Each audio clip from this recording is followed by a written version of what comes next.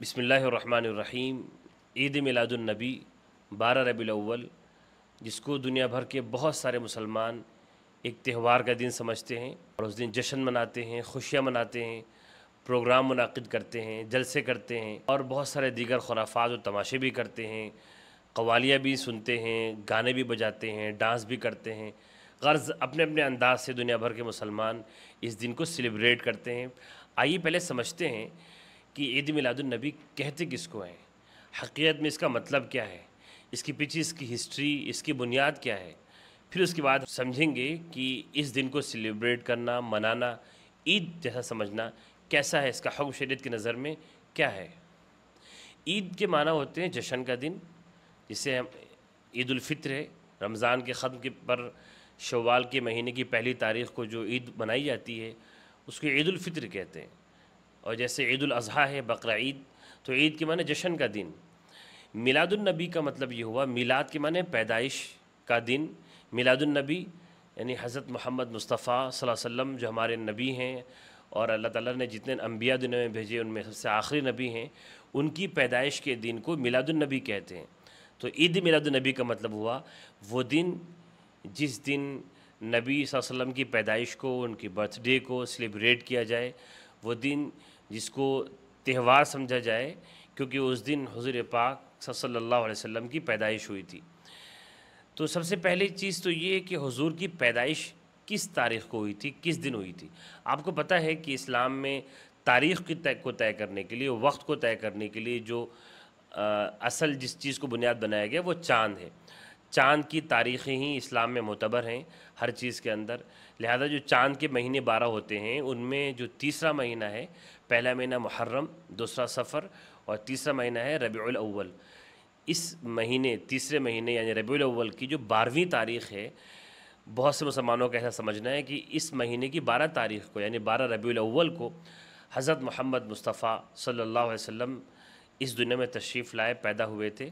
तो उस दिन की खुशी में, ज़ाहिर वो दिन बहुत अजीम दिन था। इस कायनात के लिए सबसे मुबारक दिन रहा था। जिस दिन इस कायनात के के रहबर रहमत आलम, सारे जहाँ के रहमत और अल्लाह ताला की बनाई हुई तमाम मखलूक़ात में सबसे अफजल हज़रत मोहम्मद वसल्लम पैदा हुए थे। तो इस दिन को, की खुशियाँ मनाने के लिए अब हर साल इस दिन को सेलिब्रेट किया जा रहा है। तो यही मतलब है ईद मिलादुलनबी का। आइए हम पहले समझते हैं, क्या ये बारह रबी अव्वल की जो तारीख़ है पैदाइश के दिन क्या वो सही में हुजूर इसी दिन पैदा हुए थे?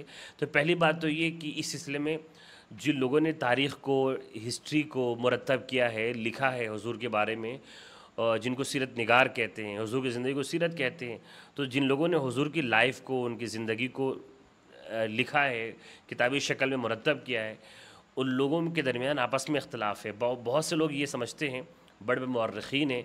वो ये कहते हैं कि हजूर की पैदाइश रबील के महीने में तो हुई, लेकिन दो तारीख़ को हुई। बहुत से लोग ये कहते हैं कि आठ तारीख़ को हजूर पाक सल्लल्लाहु अलैहि वसल्लम पैदा हुए थे। बहुत से लोग नौ तारीख़ को ये मानते हैं कि हजूर उस दिन पैदा हुए थे। बहुत से लोग दस अव्वल को समझते हैं और बहुत से बारह अव्वल को। गोया कि हजूर की पैदाइश का दिन कौन सा है? असल बर्थडे कौन सी है? पैदाइश का दिन कौन सा है?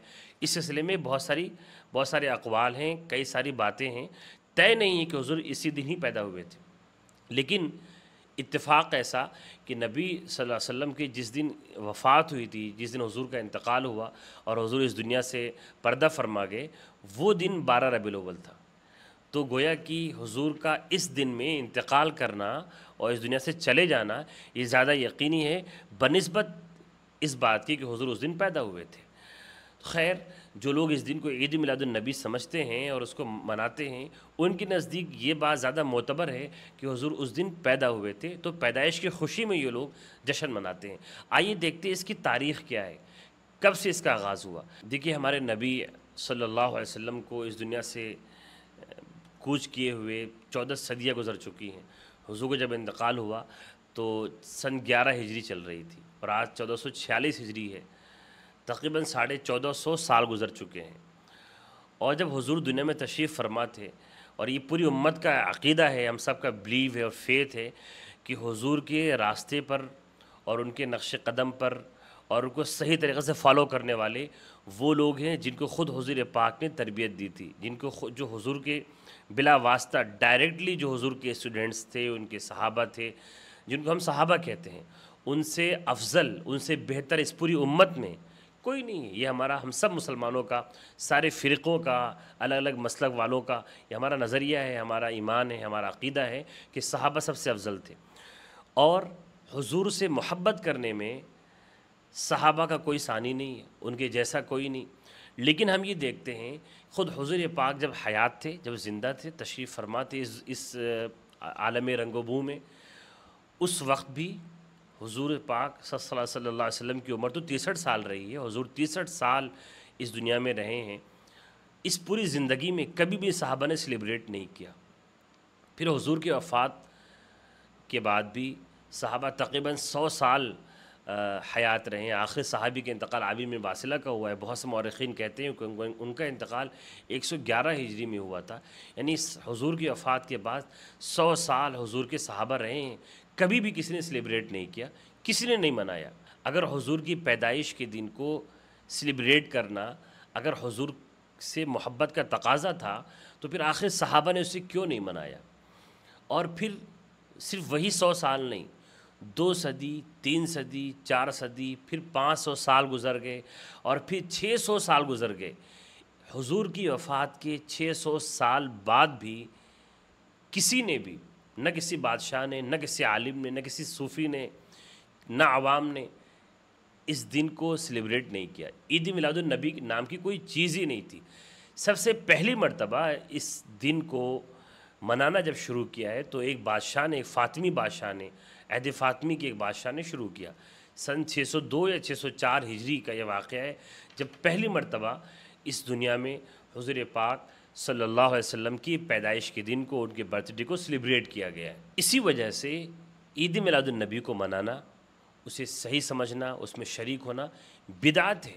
बिदत कहते हैं और उस चीज़ को जो दीन में नई लोगों ने अपनी तरफ़ से जो चीज़ें ऐड कर दी हैं, अल्लाह और उसके रसूल की तरफ़ से नहीं है, अल्लाह ताला की तरफ़ से नहीं है, लोगों ने अपनी तरफ़ से शामिल कर दिया है। उन चीज़ों को बिदात कहते हैं और बिदात हराम है, नाजायज़ है, हर किस्म की बिदात हराम है।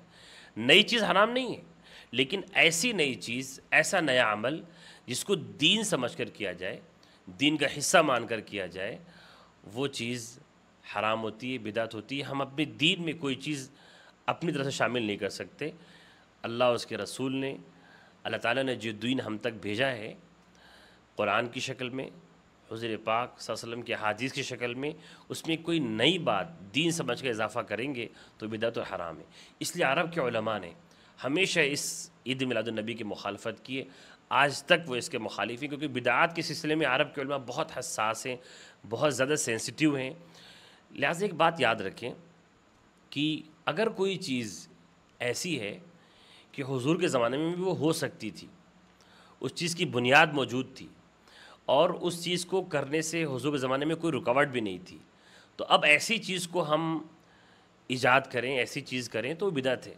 यानी ईद मिलादुलनबी की बुनियाद क्या है? ये लोग ये कहते हैं, जो इसको मनाते हैं कि ईद मिलादुलनबी हुजूर की मोहब्बत में है। उनकी दुनिया में पैदाइश का दिन, दुनिया के लिए अजीम दिन है तो उसकी याद में हम खुशियाँ मना रहे हैं। तो उनसे ये सवाल है, क्या ये मोहब्बत और इस दिन के बड़े होने का एहसास और इस खुशनसीबी का एहसास क्या सहाबा को नहीं था? क्या हजू के ज़माने के लोगों को नहीं था? ज़रूर था और हमसे ज़्यादा था। तो जब इसकी बुनियाद उस ज़माने में भी मौजूद थी और इस दिन को मनाने के लिए कोई रुकावट भी नहीं थी, मुसलमान इस दिन को सेलिब्रेट कर सकते थे तो अब हर ऐसी चीज़ जिसकी बुनियाद हजूर के ज़माने में, अहद नबी में मौजूद रही है, अहद साहबा में मौजूद रही है और उस चीज़ को करने से कोई चीज़ रुकावट भी नहीं थी, माने भी नहीं थी। अब ऐसी चीज़ हम अगर करेंगे दीन में तो वो चीज़ बिदात होती है। लिहाजा ईद मिलादुलनबी मनाना बिदात है। ईद मिलादुलनबी को सेलिब्रेट करना, उस दिन को मनाना, उस दिन को ख़ास समझना, इस जाविये से, नाजायज़ है, क्योंकि बिदात है, ये मैंने बता दिया। कुछ और भी वजूहत हैं, कुछ और भी चीज़ें हैं जिसकी वजह से इस दिन को मनाना और इस तरीके से मनाना गलत है और शायद इस सिलसिले में किसी का अख्तलाफ ना हो। ख़ुद वो सूफिया कराम जिन लोगों ने इसको बहुत फ़रोग़ दिया है, दरगाहों के के मुजाविर लोगों ने, ख़ानकाहों के बाद सूफिया कराम ने अभी भी तुर्की वगैरह ममालिक में, मिस्र में इसको बहुत सेलिब्रेट किया जाता है। कवालियाँ होती हैं, पूरी पूरी रात जागते हैं लोग, नाते सुनी जाती हैं म्यूज़िक चलता है और रक़्स भी होता है डांस भी होता है। तो जिन लोगों ने इस अमल को फ़रोग़ दिया है, उनके लिए बता दूँ कि दुनिया के हर उस मसलक के आलिम ने, जिस मसलक के मानने, बहुत से मानने वाले इसको सेलिब्रेट कर रहे हैं। पर उनके भी ने अपने फतवों में, अपनी किताबों में इसको, इस बात को हराम कहा है कि म्यूज़िक चलाई जाए, डांस किया जाए और नमाजी छोड़कर किसी महफिल में शरीक हुआ जाए। आम तौर पे जो ईद मिलाद नबी के जलसे होते हैं, उसमें म्यूज़िक चलती है, उसमें मर्द वज़न का अख्तलात होता है, मेल और फीमेल एक साथ इकट्ठा होते हैं, बहुत से नाजायज़ चीज़ें होती हैं कवालियाँ होती हैं और गाने बजते हैं और ये वो सारी चीज़ें ऐसे जलसों में रवा रखी जाती हैं जिसके ख़िलाफ़ हुजूर मबूस हुए थे, जिसको ख़त्म करने के लिए नबी पाक सल्लल्लाहु अलैहि वसल्लम इस दुनिया में तशरीफ़ लाए थे। तो जिन बुराइयों को ख़त्म करने के लिए हुजूर पैदा हुए थे, हुजूर की पैदाइश के दिन को सेलिब्रेट किया जाए उन्हीं बुराइयों को करके। ये कैसे अजीब से मंतिक है। कितने नॉनसेंस लॉजिक है ये। लिहाजा कम अज़ कम इस बात को तो देखते हुए आप हजरात को इस अमल को तर करना चाहिए, इसकी मुखालफत करनी चाहिए। और पुरमन मुखालफत करनी चाहिए। लोगों को समझाना चाहिए कि हमारे दिन का हिस्सा नहीं है। किसी की भी पैदाइश को को बनाने का दिन में कोई मिजाज नहीं ख़ुद हजूर पाक फरमाते हैं कि हमारी उम्मत के लिए दो खुशी के दिन हैं। एक ईदालफ़ितर और ईद अज़हा। कोई तीसरी कोई ईद नहीं है। अब एक नई ईद का उसमें इजाफ़ा कर देना, एक नए ईद को ऐड कर देना ख़ुद हुजूर की सुन्नत और उनके इशात की मुखालफत है। अल्लाह ताला हम सबको ऐसे अमल से बचाए।